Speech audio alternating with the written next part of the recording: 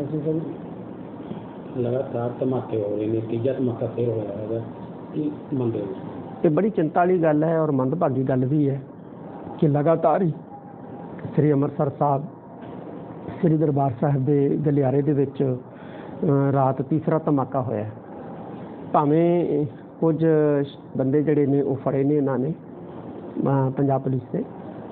ਔਰ ਇਹਦੇ ਵਿੱਚ ਸ਼੍ਰੋਮਣੀ ਗੁਰਦੁਆਰਾ ਪ੍ਰਬੰਧਕ ਕਮੇਟੀ ਤੇ ਖਾਸ ਤੌਰ ਤੇ ਸ੍ਰੀ ਦਰਬਾਰ ਸਾਹਿਬ ਜੀ ਦੇ ਜਿਹੜੇ ਮੁਲਾਜ਼ਮ ਹੈ, ਉਹਨਾਂ ਦਾ ਵੱਡਾ ਸਹਿਯੋਗ ਰਿਹਾ ਉਹਨਾਂ ਨੇ ਸੀਸੀਟੀਵੀ ਕੈਮਰੇ ਜਿਹੜੇ ਉਹ ਖੰਗਾਲੇ ਆ ਔਰ ਖੰਗਾਲ ਕੇ ਜਿਹੜਾ ਹੈ, ਇਹਨਾਂ ਵਿਅਕਤੀਆਂ ਦੀ ਨਿਸ਼ਾਨਦੇਹੀ ਕੀਤੀ ਹੈ, ਸ਼੍ਰੋਮਣੀ ਗੁਰਦੁਆਰਾ ਪ੍ਰਬੰਧਕ ਕਮੇਟੀ ਦੇ ਮੁਲਾਜ਼ਮਾਂ ਨੇ।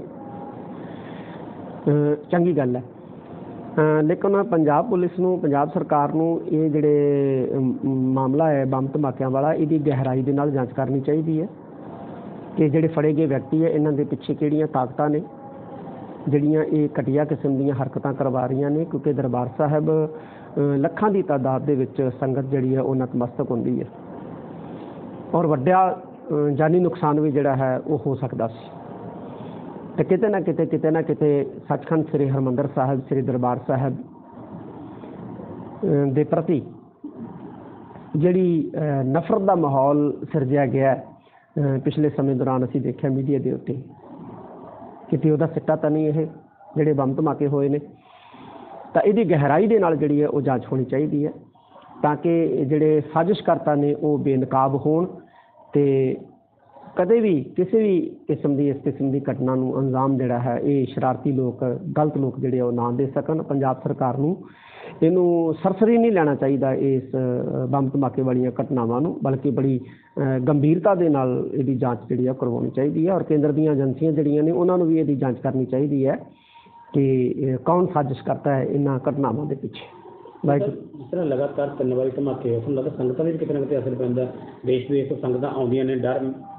ਨਹੀਂ ਦੇਖੋ ਜਿਹੜੇ ਤਾਂ ਸੱਚਖੰਡ ਸ੍ਰੀ ਹਰਮੰਦਰ ਸਾਹਿਬ ਸ੍ਰੀ ਦਰਬਾਰ ਸਾਹਿਬ ਨੂੰ ਪਿਆਰ ਕਰਦੇ ਆ ਉਹਨਾਂ ਦੇ ਮਨਾਂ ਦੇ ਵਿੱਚ ਕੋਈ ਭੈ ਨਹੀਂ ਹੈ, ਕਿਉਂਕਿ ਸਾਡੀ ਬਾਣੀ ਕਹਿੰਦੀ ਹੈ ਕਿ ਚੱਖੜ ਚਾਂਗੀ ਮਿਹ ਵਰਸੈ, ਧੀ ਗੁਰ ਦੇਖਣ ਜਾਏ। ਪਰ ਆਮ ਜਿਹੜੇ ਸ਼ਰਧਾਲੂ ਜਿਹੜੇ ਆਉਂਦੇ ਆ ਜਾਂ ਸੱਚਖੰਡ ਸ੍ਰੀ ਹਰਮੰਦਰ ਸਾਹਿਬ ਦੇ ਦਰਸ਼ਨ ਕਰਨ ਵਾਸਤੇ ਆਉਂਦੇ ਆ ਜਾਂ ਟੂਰਿਜ਼ਮ ਦੇ ਨਜ਼ਰੀਏ ਨਾਲ ਆਉਂਦੇ ਆ, ਕਿਤੇ ਨਾ ਕਿਤੇ ਉਹਨਾਂ ਦੇ ਮਨਾਂ ਦੇ ਵਿੱਚ ਭੈ ਦੀ ਅਵਸਥਾ ਪੈਦਾ ਹੁੰਦੀ ਹੈ, ਕੋਈ ਸ਼ੱਕ ਵਾਲੀ ਗੱਲ ਨਹੀਂ। ਪਰ ਸਿੱਖ ਦੇ ਮਨ ਦੇ ਵਿੱਚ ਸੱਚਖੰਡ ਸ੍ਰੀ ਹਰਮੰਦਰ ਸਾਹਿਬ ਜਾਣ ਤੋਂ ਜਿਹੜਾ ਹੈ, ਕਦੇ ਵੀ ਜਿਹੜਾ ਹੈ, ਉਹ ਭੈਪੀਤ ਨਹੀਂ ਹੁੰਦਾ।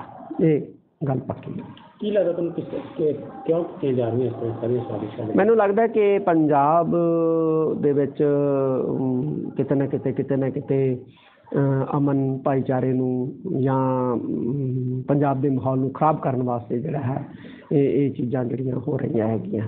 ਤੇ ਜਾਂ ਕਿਤੇ ਨਾ ਕਿਤੇ ਇਹ ਵੀ ਹੋ ਸਕਦਾ ਹੈ ਕਿ ਘੱਟਗਿਣਤੀਆਂ ਦੇ ਪ੍ਰਤੀ ਅ, ਜਿਹੜੀ